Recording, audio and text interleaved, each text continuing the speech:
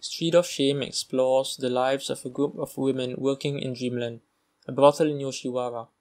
The Japanese government is under renewed pressure to pass a bill that will render prostitution as an illegal activity. The film is a take on the intricacies and challenges of the law and how it has a direct hand in affecting the livelihoods of women who, in the line of work, are shunned as deviants, but also find that their options out there leave much to be desired. The film touches on a range of theories of deviance. Rachel will first discuss Merton's strain theory. I will then touch on the reading, Dealing in Desire. Lastly, Azmi will look into the stigmatization faced by these women. As the quote at the start has pointed out, prostitution has been around in Japan for over 300 years. As poverty is a major problem in Japan, many women engage in prostitution to earn more money. In the film, there are at least two women working to support their family or pay off their debts. This behavior can be understood by Merton's strain theory, where there is a discrepancy between socially engendered goals and the availability of legitimate means to achieve such goals. Where earning money is an acceptable cultural goal, the institutionalized means to achieve it through prostitution is rejected. Hence, prostitution is a form of innovation. In the film, the sex workers find it unacceptable that the means of earning money may become illegal. 一番困るのはお前たちだ客を取ったら監獄へぶち込まれるとしたらお前たちどうやっておまんま食っていく 花江お前どうだ？病気のご亭主と子供養えるかい？まあ夢子は楽園家でもするか。休み。どうやってお金貯める？二個円になって酔いと負けでもするか？よりえミッキーお前お小遣いどうする？どうだ？分かったかい？本当にお前たちのことを心配してるのは俺たち業者だ。こうやって店を作って商売させてるからお前たち食うには困らないし一家心中だってせずに済むんだ。俺たちはね政治の行き届かねえところを補ってるんだ。国家に代わって社会事業やってるんだ。人権だとか君の恥だとか。演説さえぶってりゃ食いっぱぐらんねえ連中にはお前たちの苦労なんて一つも分かっちゃいねえんだよ。お前たちの味方は俺たち以外にあるかい？議員の人も分かんないことを言うね。自分のものを自分で売るのがどうしていけないんだろう。店が潰れたら青線かパンスケや。客はより好み。うるさいかや言えへんし。ほら。跳ね返り。頭きちゃうよまったく。まあお前たちはな。甘い話になんか乗っちゃいけないよ。この商売ができなくなったら明日からどうなるかってことをよく考えて。バカ見ねえようにしなきゃいけないよ。いいな？The brothel owner rejects the idea that prostitution is an illegitimate means to earn a living because the state of society does not provide them with other means to meet their basic goals of living and sustenance. In this way, prostitution has been helpful for these women as a means of income. This is also supported by Yumiko's comment of not being able to sell their bodies if they so choose. However, their choice may be made because prostitution is a more efficient way to earn money than their daily jobs. If factory jobs are more valued, pays better, and isn't as demanding, prostitution may not be as big in Japan. This, however, is far unlikely to be the case. 私がここへ来たのは会社の疑獄事件で小菅へ入った父さんの保釈金20万のためだったわ 20万の金で私の一生はめちゃめちゃみんな金のためじゃないか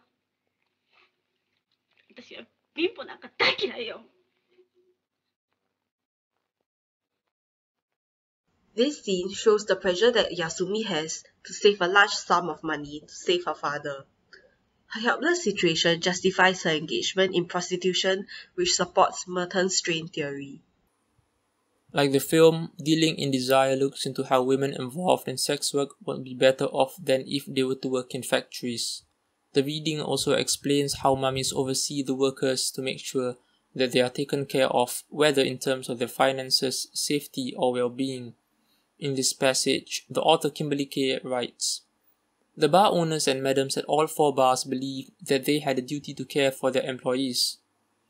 It was the key factor that made sex work seem like a viable option, in sharp contrast to the beatings and the withholding of wages that workers experience in factories. This is similar to what the film captures that the brothel keeper considers himself as a social worker and looks over the well being of the women. This is not the only scene that shows this. When Yasumi was attacked by her client, other people came to her rescue to chase him down. A doctor was then brought to attend to her to make sure she was well. This would likely not have happened under the harsh treatments of factory work.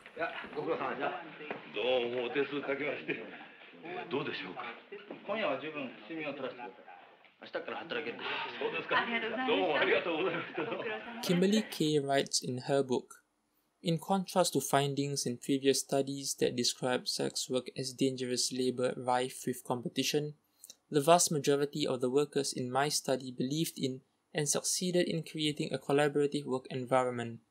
Workers shared clothing, tips on how to engage with clients, and life stories that nurtured strong ties among them. Dealing in Desire uncovers how those working in the sex industry look out for one another. The same is portrayed in the film in many examples. During the end, you can see how Mickey empathized with the young and new worker, offering her guidance. It is perhaps no coincidence, because it was Mickey who's the one other worker we see new to Dreamland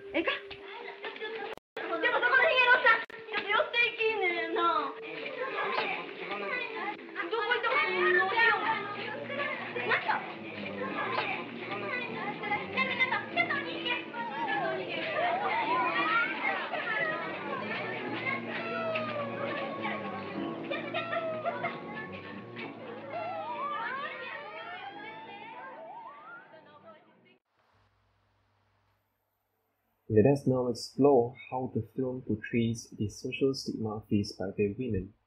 Social stigma is the extreme disapproval of an individual based on social characteristics that are perceived to distinguish them from other members of society.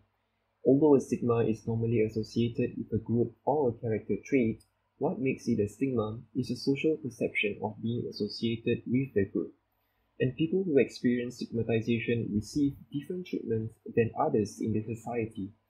A bad experience from the different treatment as a result of social stigma will cause one to put on different faces to avoid being labeled as part of the group that is being stigmatized. Here, Yumiko avoided letting her son see her working at Dreamland. Yumiko would need to put on a different act when she is around her son. She avoided her son at that moment as there was no way or time she could put on an act for her son that could disassociate herself from being portrayed as a sex worker. At this moment, Yumiko did not have a backstage to retreat to.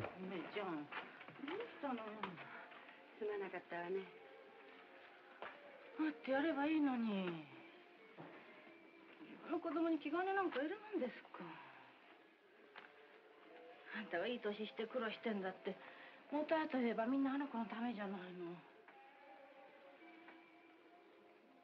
あんたの借金のおかげであの子だって大きくなってんじゃない？姫ちゃんその格好見たら息子さんだってあんたの苦労がわかるって言うもんよ。あの子どうして田舎から出てきたのかしら。小遣いが欲しかったんだわ。でもいい息子さんね。そうあの子の様子。死んだうちの人そっくりになったわ。お正月には背広の一着も作ってやりたいな。そうだ。稼いでやんなきゃ。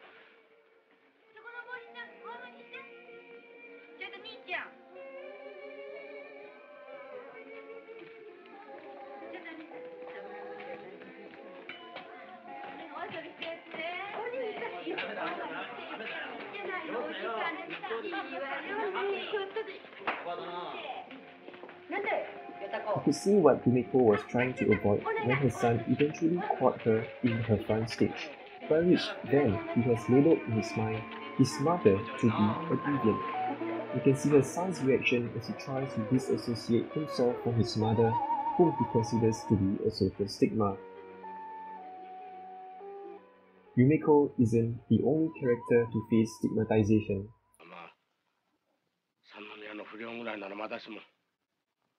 まあ三宮の女と聞いたらこの話もいっぺんに古いんだ現にお前の兄の刑事にしてからがせっかく試験を平成績でパスしながら官庁にも入れずわしの会社でくすぶってるぞうん Mickey's association as a sex worker also caused her family to be stigmatized by society. Her brother was not able to obtain a job in the government office, and her sister's marriage would be cancelled if she did not quit her job. We could see how Mickey's involvement as a sex worker has led to the stigmatization of her family.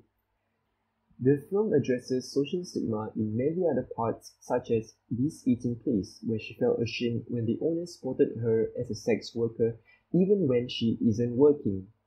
Point is, stigma is about social control. The association towards a group or trait is deemed as deviant by the perception the society has on it.